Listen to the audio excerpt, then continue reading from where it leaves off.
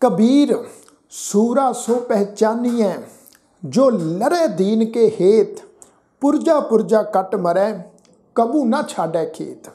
ਵਾਹਿਗੁਰੂ ਜੀ ਕਾ ਖਾਲਸਾ, ਵਾਹਿਗੁਰੂ ਜੀ ਕੀ ਫਤਿਹ।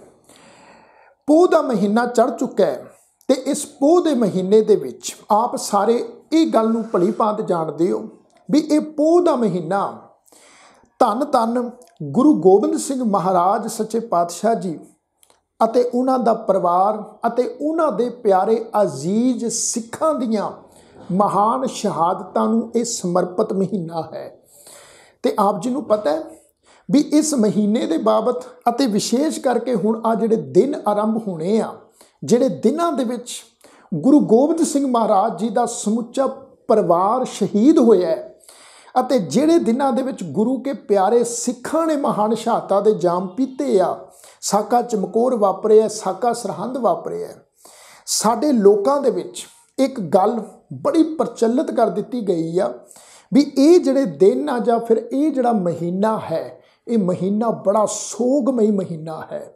ਇਹ ਦਿਨ ਬੜੇ ਸੋਗਮਈ ਦਿਨ ਹਨ ਅਤੇ ਸਾਡੀ ਸਿੱਖ ਕੌਮ ਨੂੰ ਚਾਹੀਦਾ ਹੈ ਵੀ ਉਹ ਆਪੋ ਆਪਣੇ ਘਰਾਂ ਦੇ ਵਿੱਚ, ਸਿੱਖ ਪਰਿਵਾਰਾਂ ਦੇ ਵਿੱਚ, ਇਹ ਦਿਨਾਂ ਦੇ ਵਿੱਚ ਸੋਗ ਮਨਾਉਣ, ਪੂਰੀ ਸਿੱਖ ਕੌਮ ਸੋਗ ਮਨਾਵੇ। ਮੈਂ ਆਪ ਜੀ ਦੇ ਨਾਲ ਇਸ ਵਿਸ਼ੇ ਦੇ ਸੰਬੰਧ ਵਿੱਚ ਅੱਜ ਕੁਝ ਵਿਚਾਰ ਜਿਹੜੇ ਆ, ਉਹ ਸਾਂਝੇ ਕਰਨ ਜਾ ਰਹੇ ਆ। ਜੇ ਇਹ ਵਿਚਾਰ ਆਪ ਜੀ ਨੂੰ ਚੰਗੇ ਲੱਗਣ ਤੇ ਵੱਧ ਤੋਂ ਵੱਧ ਸੰਗਤ ਨਾਲ ਸ਼ੇਅਰ ਜ਼ਰੂਰ ਕਰ ਦਿਓ ਅਤੇ ਕਮੈਂਟ ਕਰਕੇ ਆਪਣੇ ਵਿਚਾਰ ਵੀ ਜਿਹੜੇ ਆ, ਉਹ ਜ਼ਰੂਰ ਦਿਓ। ਹੁਣ ਸੰਗਤ ਜੀ ਅੱਜ ਕੱਲ ਇਹ ਗੱਲ ਜਿਹੜੀ ਆ, ਉਹ ਪ੍ਰਚਲਿਤ ਹੋ ਚੁੱਕੀ ਆ ਵੀ ਇਹ ਮਹੀਨਾ ਪੋਹ ਦਾ ਜਾਂ ਫਿਰ ਇਹ ਦਿਨ ਸ਼ਹਾਦਤਾਂ ਵਾਲੇ, ਇਹ ਸੋਗਮਈ ਆ। ਪਰ ਮੈਂ ਸਮਝਦਾ ਵੀ ਇਹ ਜਿਹੜੀ ਗੱਲ ਹੈ, ਇਹ ਬੜੀ ਗਲਤ ਗੱਲ ਸਾਡੇ ਵਿਚਕਾਰ ਪ੍ਰਚਲਿਤ ਕਰ ਦਿੱਤੀ ਗਈ ਆ। ਇਹ ਜਿਹੜਾ ਪੋਹ ਦਾ ਮਹੀਨਾ ਹੈ, ਜਿਸ ਮਹੀਨੇ ਦੇ ਵਿੱਚ ਗੁਰੂ ਗੋਬਿੰਦ ਸਿੰਘ ਮਹਾਰਾਜ ਜੀ ਦਾ ਸਮੁੱਚਾ ਪਰਿਵਾਰ ਸ਼ਹਾਦਤਾਂ ਦਾ ਜਾਮ ਪੀਂਦਾ ਹੈ, ਸਾਡੇ ਬਾਬੇ ਸ਼ਹੀਦ ਹੋਏ ਆ, ਜਾਂ ਫਿਰ ਗੁਰੂ ਕੇ ਸਿੱਖ ਸ਼ਹੀਦ ਹੋਏ ਆ, ਇਹ ਭਾਈ ਮਹੀਨਾ ਸੋਗਮਈ ਨਹੀਂ ਆ। ਸੋਗਮਈ ਕਹਿ ਕਹਿ ਕੇ ਕਿਤੇ ਨਾ ਕਿਤੇ ਜਾਣੇ ਅਣਜਾਣੇ ਵਿੱਚ ਅਸੀਂ ਭਾਈ ਉਹਨਾਂ ਮਹਾਨ ਸ਼ਹੀਦਾਂ ਦੀਆਂ ਮਹਾਨ ਦਿੱਤੀਆਂ ਹੋਈਆਂ ਸ਼ਹਾਦਤਾਂ ਨੂੰ ਜਿਹੜਾ ਉਹ ਅਸੀਂ ਅਪਮਾਨਿਤ ਕਰ ਰਹੇ ਹਾਂ। ਪਤਾ ਕਿਉਂ? ਦੇਖੋ, ਸੋਗ ਜਿਹੜਾ ਹੁੰਦਾ ਹੈ, ਸੋਗ ਕਦੋਂ ਕੀਤਾ ਜਾਂਦਾ ਹੈ? ਕਿਸੇ ਦੇ ਮਰਨ ਤੇ ਸੋਗ ਕਰਦੇ ਆ ਜਾਂ ਫਿਰ ਜਦੋਂ ਕੋਈ ਆਪਣੀ ਜ਼ਿੰਦਗੀ ਦੀ ਬਾਜੀ ਨੂੰ ਹਾਰ ਕੇ ਇਸ ਦੁਨੀਆ ਤੋਂ ਜਾਂਦਾ ਹੈ, ਤੇ ਫਿਰ ਸੋਗ ਕੀਤਾ ਜਾਂਦਾ ਹੈ। ਕੋਈ ਘਰ ਵਿੱਚ ਕੋਈ ਘਟਨਾ ਵਾਪਰ ਜਾਏ, ਕਿਸੇ ਦਾ ਕੋਈ ਨੁਕਸਾਨ ਹੋ ਜਾਵੇ, ਤਾਂ ਸੋਗ ਕੀਤਾ ਜਾਂਦਾ ਹੈ ਨਾ। ਪਰ ਉਹਨੂੰ ਅਸੀਂ ਸੋਗ ਕਿਵੇਂ ਕਹੀਏ? ਜਦੋਂ ਸਾਡੇ ਬਾਬੇ ਜਾਂ ਗੁਰੂ ਕੇ ਪਿਆਰੇ ਸਿੱਖ ਮਾਨਵਤਾ ਦੇ ਵਾਸਤੇ, ਕੌਮ ਵਾਸਤੇ, ਦੇਸ਼ ਵਾਸਤੇ ਆਪਣੇ ਤਨ ਦੀ ਆਹੂਤੀ ਦਿੰਦੇ ਆ, ਮਹਾਨ ਸ਼ਹਾਦਤਾਂ ਦਾ ਜਾਮ ਪਿੰਦੇ ਆ, ਸ਼ਹੀਦਾਂ ਦੇ ਨਾਮ ਦੇ ਨਾਲ ਅਸੀਂ ਸੋਗਮਈ ਜਿਹੜਾ ਹੈ, ਇਹ ਸ਼ਬਦ ਨਹੀਂ ਜੋੜ ਸਕਦੇ। ਕਿਸੇ ਅਦੀਬ ਨੇ ਕਿੰਨੀ ਖੂਬਸੂਰਤ ਗੱਲ ਲਿਖੀ ਹੈ ਜੀ। ਵੀ ਸ਼ਹੀਦ ਕੀ ਜੋ ਮੌਤ ਹੈ ਉਹ ਕੌਮ ਕੀ ਹਯਾਤ ਹੈ। ਹਯਾਤ ਤੋਂ ਹਯਾਤ ਉਹ ਮੌਤ ਵੀ ਹਯਾਤ ਹੈ।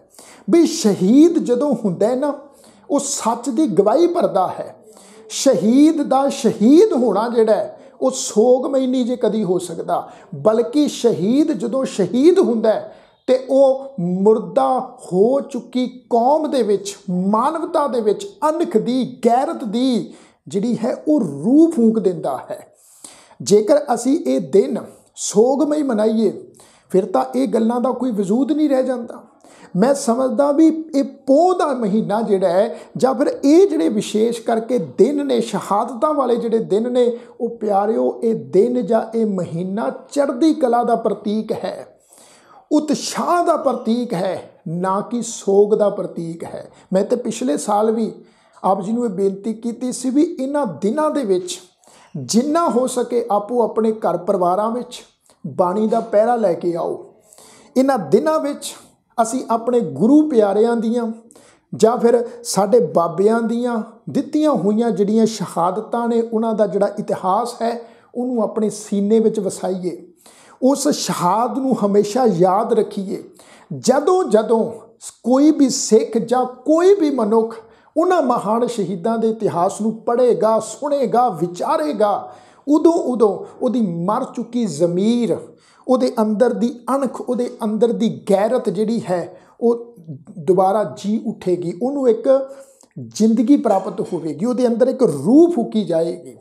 ਇਹ ਜਿਹੜੇ ਦਿਨ ਨਾ ਇਹ ਤਾਂ ਜ਼ਿੰਦਗੀ ਦੇਣ ਵਾਲੇ ਦਿਨ ਨਾ, ਚੜ੍ਹਦੀ ਕਲਾ ਵਾਲੇ ਦਿਨ ਨਾ, ਕਿਉਂਕਿ ਇਹਨਾਂ ਦਿਨਾਂ ਵਿੱਚ ਸਾਡੇ ਬਾਬਿਆਂ ਨੇ ਸਾਨੂੰ ਸਿਖਾਇਆ ਹੈ ਨਾ ਵੀ ਸਿੱਖਾ, ਜ਼ਿੰਦਗੀ ਵਿੱਚ ਕਿੰਨੇ ਵੀ ਚੈਲੰਜ ਆਣ, ਜ਼ਿੰਦਗੀ ਵਿੱਚ ਕਿੰਨੇ ਵੀ ਦੁੱਖਾਂ ਦੇ ਪਹਾੜ ਟੁੱਟ ਪੈਣ, ਪਰ ਤੂੰ ਆਪਣੇ ਅੰਦਰ ਦਾ ਸਬਰ ਨਾ ਡੁਲਾਈ।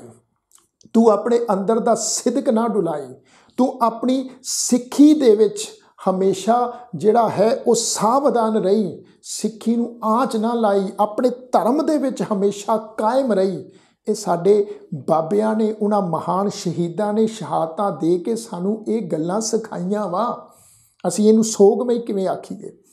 ਸੋਗਮਈ ਨਹੀਂ, ਚੜ੍ਹਦੀ ਕਲਾ, ਕਿਉਂਕਿ ਇਸ ਜਦੋਂ ਜਦੋਂ, ਇਸ ਇਤਿਹਾਸ ਨੂੰ ਅਸੀਂ ਪੜ੍ਹਦੇ ਆਂ, ਸੁਣਦੇ ਆਂ ਵੀ ਕਿਵੇਂ ਸਰਹੰਦ ਦੀ ਧਰਤੀ ਦੇ ਉੱਤੇ ਛੋਟੇ ਛੋਟੇ ਸਾਡੇ ਬਾਬੇ ਬਾਬਾ ਜ਼ੋਰਾਵਰ ਸਿੰਘ, ਬਾਬਾ ਫਤਿਹ ਸਿੰਘ ਅਤੇ ਮਾਤਾ ਗੁਜ਼ਰ ਕੌਰ ਜੀ ਉਹਨਾਂ ਨੇ ਸ਼ਹਾਦਤ ਦਾ ਜਾਮ ਪੀਤਾ ਜਾਂ ਚਮਕੌਰ ਦੀ ਜੰਗ ਹੋਈ, ਜਦੋਂ ਉਹ ਇਤਿਹਾਸ ਸੁਣਦੇ ਆ, ਸਾਡੇ ਰੋਂਗਦੇ ਖੜੇ ਹੋ ਜਾਂਦੇ ਆ।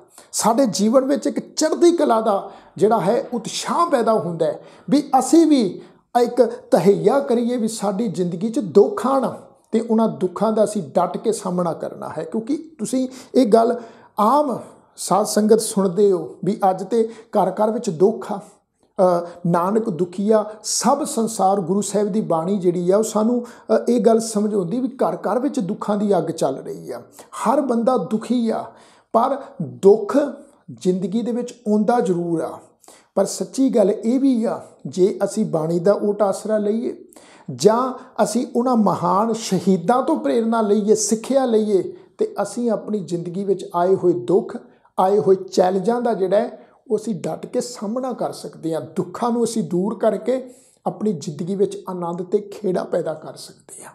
ਸੋ ਮੈਂ ਇਹੀ ਬੇਨਤੀ, ਇਹੀ ਵਿਚਾਰ ਤੁਹਾਡੇ ਚਰਨਾਂ ਵਿੱਚ ਰੱਖਣਾ ਚਾਹ ਰਿਹਾ ਸੀ ਵੀ ਆ ਜਿਹੜੀਆਂ ਗੱਲਾਂ ਪ੍ਰਚਲਿਤ ਹੋ ਚੁੱਕੀਆਂ ਵੀ ਮਹੀਨਾ ਸੋਗਮਈ ਆ, ਵੀ ਇਹ ਦਿਨ ਸੋਗਮਈ ਆ, ਭਾਈ ਸੋਗ ਮਨਾਓ, ਉਹ ਪਿਆਰਿਓ ਸੋਗ ਨਾ ਮਨਾਓ, ਬਲਕਿ ਉਹਨਾਂ ਸ਼ਹੀਦਾਂ ਨੂੰ ਯਾਦ ਕਰਕੇ, ਉਹਨਾਂ ਸ਼ਹੀਦਾਂ ਦੇ ਇਤਿਹਾਸ ਨੂੰ ਸੁਣ ਕੇ, ਪੜ੍ਹ ਕੇ, ਵਿਚਾਰ ਕੇ, ਉਹਨਾਂ ਦੀਆਂ ਮਹਾਨ ਦਿੱਤੀਆਂ ਹੋਈਆਂ ਸ਼ਹਾਦਤਾਂ ਨੂੰ ਅੱਖਾਂ ਸਾਹਮਣੇ ਰੱਖ ਕੇ ਉਹਨਾਂ ਦੇ ਪਾਏ ਹੋਏ ਪੂਰਨਿਆਂ ਤੇ ਚੱਲਣ ਦੀ ਕੋਸ਼ਿਸ਼ ਕਰੀਏ। ਵੀ ਜਿਸ ਢੰਗ ਤਰੀਕੇ ਦੇ ਨਾਲ ਉਹਨਾਂ ਨੇ ਆਪਣਾ ਸਿੱਖੀ ਸਿਦਕ ਨਹੀਂ ਹਾਰਿਆ, ਆਪਣਾ ਧਰਮ ਨਹੀਂ ਹਾਰਿਆ, ਆਪਣੀ ਜ਼ਿੰਦਗੀ ਦਾ ਸੱਚ ਨਹੀਂ ਹਾਰਿਆ, ਸੱਚ ਤੇ ਪਹਿਰਾ ਦਿੱਤਾ, ਅਸੀਂ ਵੀ ਕੋਸ਼ਿਸ਼ ਕਰੀਏ ਵੀ ਅਸੀਂ ਵੀ ਆਪਣੀ ਜ਼ਿੰਦਗੀ ਵਿੱਚ ਸੱਚ ਤੇ ਪਹਿਰਾ ਦੇਣਾ ਸ਼ੁਰੂ ਕਰੀਏ, ਧਰਮ ਲੈ ਕੇ ਆਈਏ, ਆਪਣੇ ਪਰਿਵਾਰਾਂ ਵਿੱਚ ਸਿੱਖੀ ਦਾ ਪਹਿਰਾ ਲੈ ਕੇ ਆਈਏ, ਬਾਣੀ ਦਾ ਪਹਿਰਾ ਲੈ ਕੇ ਆਈਏ। ਸੋਗ ਮਹੀਨਾ ਕੋ ਬਲਕਿ ਆਖੋ ਵੀ ਸਾਡੇ ਬਾਬੇ ਸਾਡੇ ਅੰਦਰ ਚੜ੍ਹਦੀ ਕਲਾ ਪੈਦਾ ਕਰਦੇ ਆ, ਸਾਡੇ ਮਨਾਂ ਵਿੱਚ ਉਤਸ਼ਾਹ ਪੈਦਾ ਕਰਦੇ ਆ